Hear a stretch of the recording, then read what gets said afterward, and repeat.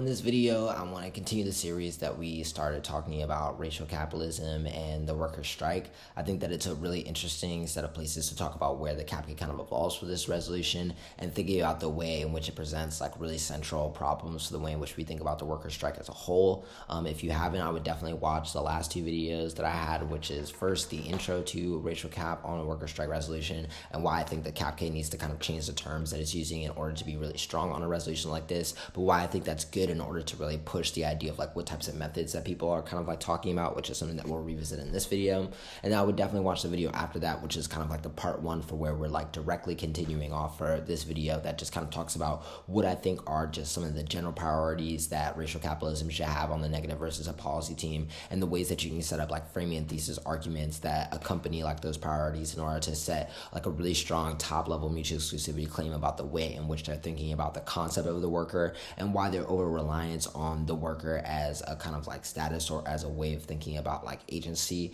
destroys our ability to think about like what resistance looks like in other places. And in this video, I kind of want to continue some of that discussion and talk about its relationship specifically in the context of like link debating, permutation debating, impact comparison, and alternative debating. And I think that that kind of will give you a much more fuller picture of how these things get debated out and answer like some of like the caveats that I think that a lot of teams would be worried about, which is like permutation arguments and like really strong link turn arguments from the um,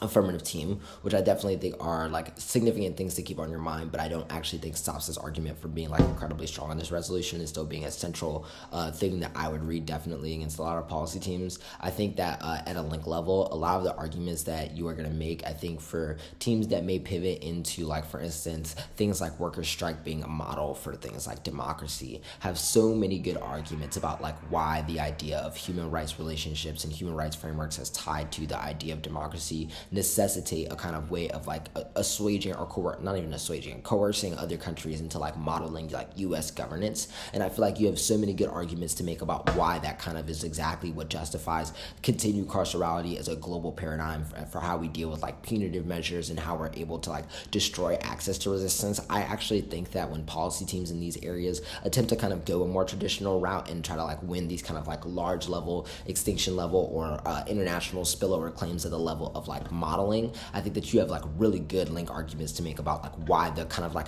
necessity of a worker strike are for all the reasons that the US shouldn't be modeled and kind of like create the conditions of like inevitable suffering because of the way in which we're able to continue to privilege off of dispossession that has kickstarted like global economies that the US is still participating in in order to coerce other countries into modeling what we think of as a good paradigm for people to be able to speak while simultaneously like using that as a way to exclude uh, the ability to think about the lumpen proletariat's place place in relationship to the worker to think about like how people are sectioned out of being able to access workers' rights because of the ways in which like those like uh, hiring processes and racial capitalism and the continuation of like automation and industrialization have excluded them from being able to have like proper access to like the economy and things like that. And I feel like building your link arguments against like the really hardline, um, hard right apps on that uh, set of arguments is like really easy to develop. But I think on the other side, where you see teams that are going to move closer to the left and try to say that their workers' strike are like necessary for a really revolutionary change within the state and the way in which we think about the role that the state plays,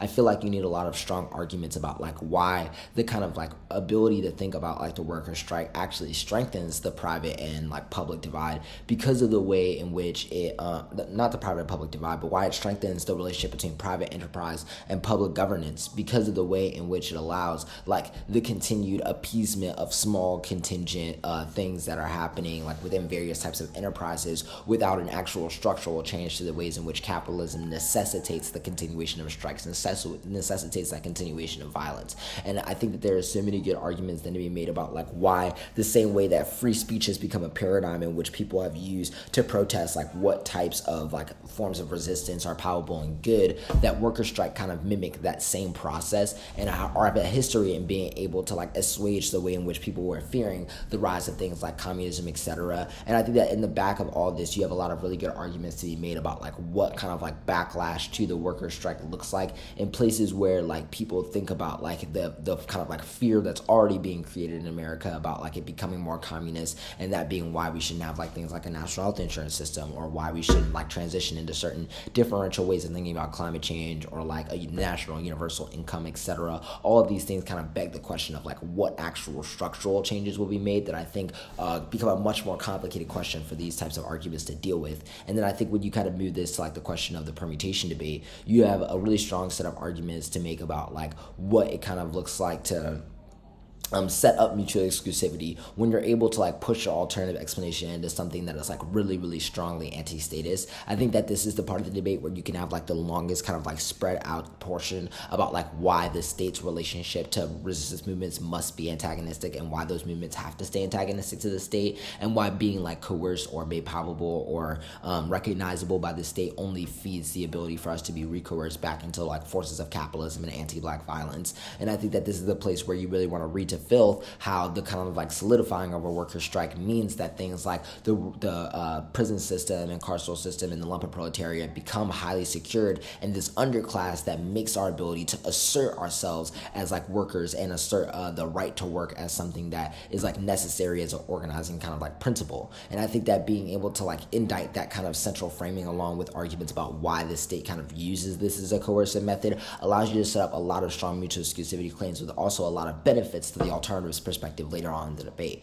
This then kind of begs the question of like how you're able to do impact comparison when like both of you could probably win arguments about why the continuation of capitalism causes extinction and why both of your arguments move in the right direction. And I think that is really just a question of just like you should be able to pivot into a question of like our resistance for like our resistance against capitalism should not have to create another underclass in order for us to be able to destroy how like dispossession has created and kickstarted a process of industrialization that is necessitated the like existence of worker strikes in the first place. And so, like, it's not even a question of who can get to the largest impact, but literally how it is unsustainable to continue to solidify and create new underclasses through our ability to make our own, like, subject positions more recognizable and to make our own rights as workers seem as identifiable when those things become, like, really slippery once you get into the idea of, like, how other people are kind of, like, socially located in those things. And then when you get to the alternative, it becomes, like, the ability for you to take that as the reason why, like, theorizing from the lumpen proletariat allows this kind of like total disruption and a lineage of kind of like black anarchism that refuses to be properly recognized by the state, whether it looks like the Soledad brothers, Assata's fugitive escape from prison, etc., uh, abolition, and the way in which we promote particular anti-status, non-state reliance kind of like methods of mutual aid that refuse the ability for these industries and for the state to even be able to make decisions that like are valued in the context of recognition, and why then that kind of like refuses the paradigm that forces us to organize along the axis of such a worker that can only continue the creation of like an anti-black underclass via the same type of systems of development, coercion, etc. that have been like layered throughout history. Hopefully this video was helpful for you and hopefully you'll continue in the videos I'll be doing and talking about racial capitalism on the workers strike resolution. And yeah, thanks.